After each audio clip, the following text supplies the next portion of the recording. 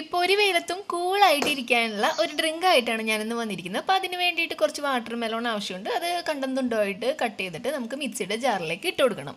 ഇനി ഇതിലേക്ക് വേണ്ടത് നല്ല തണുപ്പിച്ച അധികം പൊളിയില്ലാത്ത തൈരാണ്. അതൊരു അര കപ്പ് ഇട്ട് കൊടുത്തിട്ടുണ്ട്. അതിനുശേഷം രണ്ട് മിന്റ് ലീഫും ചേർത്തിട്ട് ഒരു മൂന്ന് ടേബിൾ സ്പൂൺ പഞ്ചസാരയും കൂടി ചേർത്ത് നന്നായിട്ട് വെള്ളമിടാതെ ബ്ലെൻഡ് ചെയ്ത് കൊണ്ടുവരണം.